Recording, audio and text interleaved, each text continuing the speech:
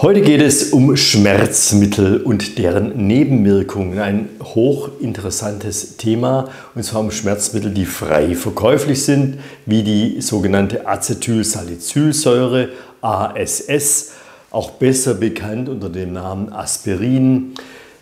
Dies war eines der allerersten Schmerzmittel vor ungefähr 130 Jahren, hat die Firma Bayer ins Leben gerufen das AS 100, zum Beispiel 100 Milligramm, bekommen sehr viele Herzpatienten verschrieben über ganz viele Jahre hinweg, im Prinzip sogar zum Teil über Jahrzehnte. Und deswegen ist es wichtig, dass wir mal hier über die Nebenwirkungen sprechen. Aber sie heißen auch nicht steroidale Antirheumatika, weil sie aus dem Rheuma-Bereich kommen. Damals hat der Entdecker des Aspirins ein Rheumamittel gesucht wegen den Dauerschmerzen dieser Patienten. Das Problem nun ist, dass 25 Prozent der Nebenwirkungen dieser nicht steroidalen Antirheumatika, dazu gehört auch zum Beispiel Ibuprofen und so weiter, ich gehe nachher noch darauf ein, betreffen den Magen-Darm-Trakt, also Nebenwirkungen wie Magenschleimhautentzündungen, Blutungen, Geschwüre, und so weiter sind hier gang und gäbe. Und das Risiko steigt mit der Dosis und mit der Einnahmedauer, besonders in Kombination mit anderen nicht steroidalen Antirheumatika. Und wie gesagt, der Begriff nicht steroidales Antirheumatikum, auf Englisch heißt es NSAID, Non-Steroid Anti-Inflammatory Drug, also da ist das I dabei inflammatory, die sagen antientzündlich, wir sagen antirheumatikum. Und es geht auf den ursprünglichen Einsatz dieser Medikamente zur Behandlung von rheumatischen Erkrankungen zurück. Und Rheuma umfasst ja eine Vielzahl von entzündlichen Erkrankungen, die oft mit Schmerzen, Schwellungen und Bewegungseinschränkungen einhergehen, besonders natürlich in den Gelenken. Und früher war der Begriff Antirheumatikum allgemein für Medikamente verwendet worden, die bei der Behandlung von Entzündungen und Schmerzen im Zusammenhang mit rheumatischen Erkrankungen halfen. Und die NSAID besitzen eben diese Eigenschaften. Sie hemmen Entzündungen, sie lindern Schmerzen und deswegen werden sie in diese Kategorie eingeordnet. Und nicht steroidal bezieht sich darauf, dass diese Medikamente keine Steroidverbindungen enthalten, im Gegensatz zu Corticosteroiden wie zum Beispiel Cortison, die ebenfalls starke entzündungshemmende Wirkungen haben, aber mit anderen oft schwerwiegenderen Nebenwirkungen einhergehen. Und der Begriff Antirheumatikum wurde dann verallgemeinert, auch wenn NSAIDs heutzutage für viele andere Arten von Entzündungen und Schmerzen eingesetzt werden, eben nicht nur bei rheumatischen Erkrankungen. Das war mal die Historie dieses dieser Begriffsentwicklung. Und jetzt komme ich nochmals dazu zu den Schmerzmittelklassifikationen. Nur so zur Info, da könnte ich über jedes einzelne einen ganzen Vortrag halten. Also wir haben die nicht-steroidalen Antirheumatika, über die spreche ich heute. Dann haben wir die Opioide, ne? das sind Opioide, Analgetika. Wir haben Metamizol, auch bekannt äh, unter Novalgin. Das sind auch Prostaglandin-Synthese-Hämmer, aber ähnlich wie Paracetamol, aber die hemmen peripher und zentral, ne? die Zyklooxygenase. Das Paracetamol dasselbe. Wir haben die Corticosteroide, wir haben Lokalanästhetika, wie es auch der Zahnarzt zum Beispiel benutzt. Antikonvulsiva, also antiepileptische Medikamente, Antidepressiva gehören auch zum Teil zu den Schmerzmitteln dazu. Cannabinoide haben wir, Muskelrelaxantien, NMDA-Rezeptorantagonisten, COX-2-Hämmer, das sind wiederum selektive Antirheumatika, die, auf die gehe ich heute auch noch ein. Und wir haben noch die Triptane, insbesondere für Migräne, sind die wichtig. Also wir sehen, es gibt hier doch sehr viel verschiedene Schmerzmittel, mit denen sich die Ärzte auch dann auskennen müssen. Und die COX-Hämmer werden wiederum in zwei Kategorien unterteilt. Auf die gehen wir heute ein. Also Aspirin, äh, Ibuprofen Voltaren, das sind so die üblichen Geschichten, das sind nicht selektive COX-Hämmer, also Cyclooxygenase-Hämmer. Und die Cyclooxygenase ist ein Enzym, das der Körper selbst herstellt, das die Umwandlung von der Arachidonsäure, das ist die tierische Omega-6-Fettsäure, in eben die bestimmten Prostaglandine oder Leukotriene umwandelt, die dann proentzündlich wirken und auch Schmerzen machen, auch Fieber machen, aber auch zum Teil eine Blutgerinnung machen. Ne, das haben wir auch, deswegen wirkt ja auch ASS als Gerinnungshemmer bei Herzpatienten. Und zum Beispiel zu den nicht selektiven COX-Hämmer, die hemmen die COX1 und die COX2, das ist wichtig wegen den Nebenwirkungen, haben wir die Acetylsalicylsäure, ASS, wir haben Ibuprofen, äh, Diclofenac, Naproxen und Indometazin, die sind zum Teil verschreibungsfrei, zum Teil verschreibungspflichtig. Und dann gibt es noch die selektiven COX-2-Hämmer, die wirken dann nur gezielt auf die Cyclooxygenase 2. Das wäre zum Beispiel Celecoxib oder Etoricoxib oder Parecoxib. Und die COX-2-Hämmer wirken weniger auf die Magenschleimhaut und haben somit weniger Nebenwirkungen auf Magen und Zwölffingerdarm. Ja? Also nochmals, aus der Arachidonsäure wird über die COX COX, hm, über dieses Enzym, eben bestimmte Prostaglandine, Leukotriene und Thromboxane gebildet, die eben aus der Omega-6-Fettsäure alle pro-entzündlich, pro-Gerinnung, pro-Fieber, pro-Schmerz wirken.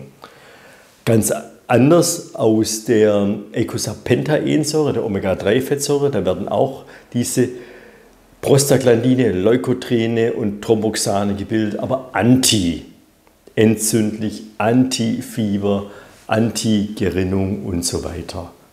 Aber das hat mit der COX dann nichts zu tun. Deswegen können wir ja auch als Ausgleich Omega-3-Fettsäuren zu uns nehmen und haben hier schon einen anti-entzündlichen Ausgleich.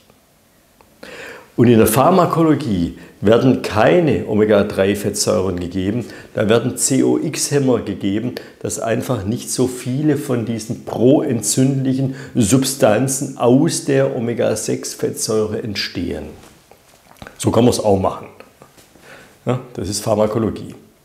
Und warum verursachen denn diese Medikamente, zum Beispiel ASS, diese Magen-Darm-Probleme? Ganz einfach, weil die Zyklooxygenase 1 gehemmt wird. Und 2. Die Zweier, die wirkt dann schmerzlindernd und entzündungshemmend und die Einser, die hat wiederum schützende Prostaglandine für den Magen. Hm? Also sprich, wenn man die COX-1 hemmt, dann haben wir eine erhöhte Magensäureproduktion und eine verringerte Schleimproduktion, also eine Schleimschutzschicht, die wird dann verringert. Und die Magenbeschwerden nehmen zu durch unter anderem die Hemmung des Prostaglandins E2 durch die COX1, COX1-Hemmung. Also da ist die die, und das Prostaglandin E2 dementsprechend fördert die Schleimproduktion im Magen äh, und ähm, reguliert aber auch den Blutdruck, Entzündung und das Schmerzempfinden. Ist auch noch wichtig für die Menstruation und Geburt für die Frauen. Also wenn Frauen viel ASS zum Beispiel einnehmen und möchten äh, äh, schwanger werden oder haben eh schon Zyklusprobleme, dann ist es auch nicht so gut. Und wenn wir es ähm, durch ASS oder auch Ibuprofen dies hemmen, dann sinkt die Schleimhautschutzschicht und die Magensäure steigt. Wir sind anfälliger für Schäden im Magen und das sind dann die Nebenwirkungen Magenbeschwerden, oft kleine unbemerkte Blutungen, in den schwereren Fällen auch Magengeschwüre und Magenblutungen oder Zwölffingerdarmgeschwüre mit Blutungen. Und dann haben wir dann daraufhin selektive Cyclooxygenase 2, also COX-2-Hämmer entwickelt. die eben die COX-1 nicht hemmen, nur die COX-2. Und die wirken dann auch entzündungshemmend, weil COX-2 in erster Linie Entzündungen verursacht. Wie zum Beispiel das Celecoxib zum Beispiel. Und die haben zunächst weniger Nebenwirkungen gehabt. Aber im Laufe einer chronischen Gabe, also einer Langzeitgabe, traten dann tatsächlich ebenfalls Magen-Darm-Probleme auf, aber auch Herz-Kreislauf-Komplikationen. Und da haben wir auch ein COX-2-Hämmer sogar wieder vom Markt genommen. Das war 2004, glaube ich. Ich erinnere mich noch dran. Dann gibt es noch ein großes Problem bei diesen COX-Hämmer im Allgemeinen, ja, bei diesen peripheren Schmerzmitteln wie ASS und Konsorten, dass die Vitamin C rauben, insbesondere im Magen. Wir brauchen im Magen eine sehr hohe Vitamin C-Konzentration, ungefähr zehnmal höher als im Blut. Und diese Vitamin C-Konzentration wird quasi von diesen Medikamenten geraubt. Aus dem Grund, weil Magenschleimhautentzündungen entstehen.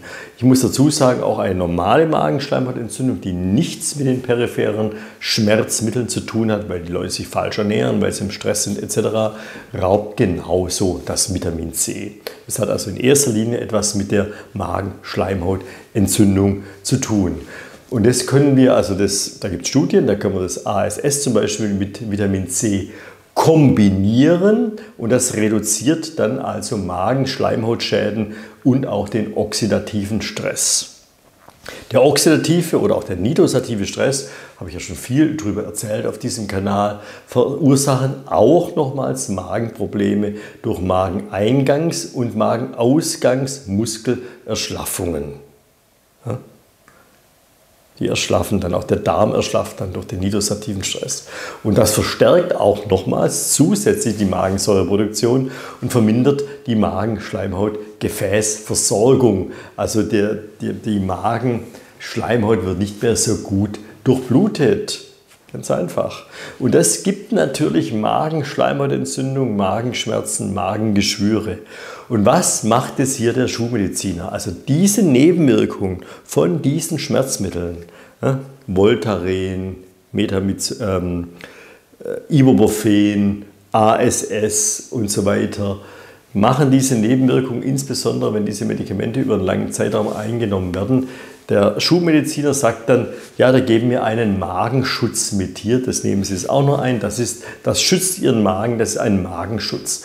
Und damit meint er die sogenannten Protonenpumpeninhibitoren, die PPIs. Das ist zum Beispiel Pantoprazol oder Omeprazol. Und Pantoprazol, 20 Milligramm zum Beispiel, ist mittlerweile schon lange in den Apotheken verschreibungsfrei Apotheker, apothekenpflichtig zu kaufen. Magensäureblocker. Klar, wenn jetzt ein Aspirin oder ein ASS oder ein Ibuprofen eben zu viel Magensäure produzieren lässt, dann kann man mit Pantoprazol oder Omeprazol die Magensäure wieder blockieren und dann ist die Sache auf Schwäbisch sagt man geschwätzt, ne? dann, dann ist es wieder in Ordnung. Nur auf lange Sicht eben auch nicht. Das, das funktioniert kurzzeitig, aber lang, auf lange Sicht funktioniert das nicht. Denn diese Medikamente, diese PPIs, also Pantoprazol und Konsorten, hemmen die Magensäureproduktion, indem sie die, äh, die Protonen pumpen, die H plus K plus ATPasen in den Belegzellen des Magens blockieren, was zu einer Reduzierung der Säuresekretion führt. Das wollen wir ja da auch erreichen. Und wie gesagt, das geht eine Zeit lang gut. Allerdings schütten diese Zellen, die sogenannten Belegzellen, die hier blockiert werden im Magen, nicht nur Salzsäure aus, sondern auch den sogenannten Intrinsikfaktor. Und der Intrinsikfaktor, den brauchen wir für unser Vitamin B12. Denn der Intrinsikfaktor schützt das Vitamin B12 durch den Dünndarm hindurch bis ins Ilium, in den Entendünndarm und da wird das Vitamin B12 dann aufgenommen. Ohne Intrinsikfaktor kein B12, ja, massiver B12-Mangel. Und genau das passiert hier auf lange Sicht gesehen durch die PPIs durch die Magensäureblocker. Da die Leute bekommen einen Vitamin B12-Mangel und einen Vitamin C-Mangel und einen Magnesiummangel übrigens auch noch. Und dann haben wir dann den Salat. Also das ist nämlich äh, kein Spaß dann. Gell? Wir könnten auch ähm, was anderes verabreichen, so mache ich das in meinen Patienten. Ich gebe dann lieber mal H2-Blocker, also Histamin-2-Blocker. Die tun auch die Belegzellen dann belegen, also ähm, wirken mit denen und die Magensäure reduzieren, aber nicht ganz so stark wie die PPIs und haben allerdings dann nicht so eine starke, nicht so eine starke ähm, wie soll ich sagen, äh, Wirkung auf den Intrinsikfaktor. Ich sage es nochmals, die Belegzellen im Magen sezernieren eben die Magensäure, die spielen eine Schlüsselrolle in unserer Verdauung, die hier dann blockiert werden durch diese Magensäureblocker. Und der Intrinsikfaktor, der hier auch ausgeschüttet wird, ist ein Glykoprotein, das für die Resorption von Vitamin B12 im Dünndarm äh, elementar ist. Also ohne Intrinsikfaktor kein Vitamin B12. Ja. Kurz gesagt, die Belegzellen sind entscheidend für die Magensäureproduktion und die Aufnahme von Vitamin B12. So, und da sehen wir, wir die Schulmedizin, die erkennt dann schon die Nebenwirkungen dieser peripheren Zyklooxygenase-Hämmer, peripheren Schmerzmittel und gibt aber dann, weil 25 Prozent dieser Nebenwirkungen ja definitiv auf Magen und Dünndarm gehen, eben, also zwölf Fingerdarm gehen, eben ein Magensäureblocker, um dieses, diesen äh, Vorgang zu blockieren und diesen Nebenwirkungen entgegenzutreten. Funktioniert aber nicht auf Dauer gesehen, weil diese PPIs, diese Magensäureblocker eben neue Nebenwirkungen dann provozieren und gestalten. Und dann, wie gesagt, ich habe gerade von den H2-Blockern gesprochen, die wir auch verabreichen könnten, wie zum Beispiel Famotidin und Konsorten. Und da erzähle ich euch jetzt im zweiten Teil, ich hänge hier jetzt noch einen zweiten Teil an, sonst würde das jetzt zu viel werden, warum Famotidin oder eben diese H2-Blocker günstiger wären, jedenfalls mal von einem bestimmten Zeitraum, als die PPIs und was die auch noch können. Die können nämlich was ganz Bestimmtes, über das ich hier auf YouTube gar nicht reden darf. Das ist hier durch die Richtlinien verboten. Und das ist ganz, ganz, ganz spannend.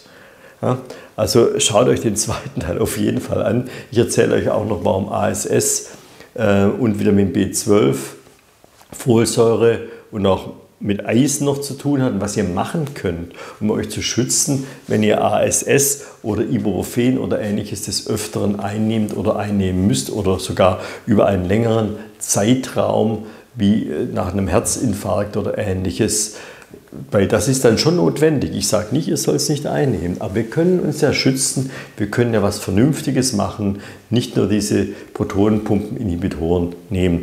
Ich rede auch noch was über Paracetamol, da erzähle ich euch noch, warum Paracetamol verheerende Schäden haben kann im, im, äh, im Körper, sogar lebensgefährlich werden kann und was ihr tun könnt, um euch von solchen Geschichten ganz, ganz einfach zu schützen. Ich habe unten einen Link reingesetzt in die Videobeschreibung, da könnt ihr draufklicken und dann über unseren Newsletter kommt ihr dann natürlich kostenfrei zu dem kostenlosen und unzensierten Video, also die Fortsetzung plus viele weitere Videos, die wir, Videos und Interviews, die wir hier eingestellt haben, alle unzensiert und natürlich kostenlos. Schaut da mal rein, das lohnt sich. Ich bedanke mich bei euch und wünsche euch allen alles Liebe, alles Gute und ganz viel Gesundheit. Bis zum nächsten Mal.